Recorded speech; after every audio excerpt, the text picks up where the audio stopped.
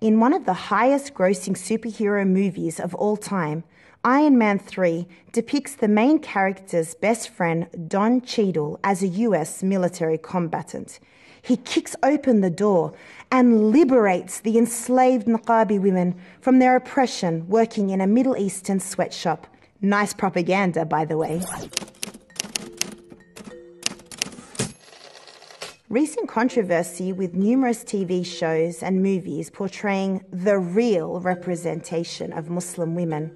Hala, an Apple original, lazily portrayed every single stereotype Muslim women face today. She's depressed, not heard, covered. But this liberal rebellion gets rescued by yet another non Muslim.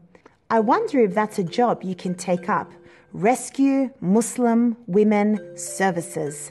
RMW Services, how can I save you?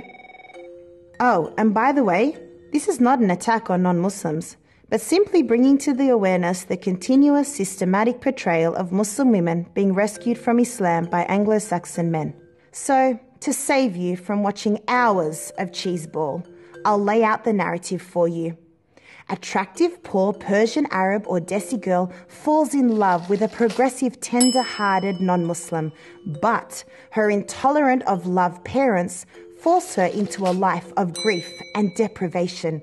But this hijabi hostage is a real liberal rebel at heart and runs away, throwing her deen, family, hijab away. Written, produced, and directed by Al Masih Dajjal.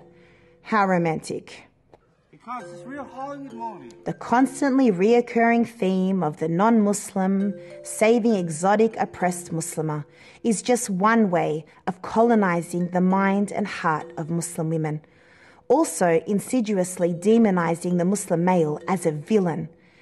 This is just another avenue to socially engineer Muslims away from their faith and into a godless liberal dystopia, painted to us as liberation and freedom.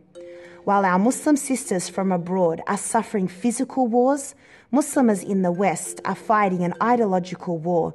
And in order for us to win, we must take ownership of our own stories and tell it our way.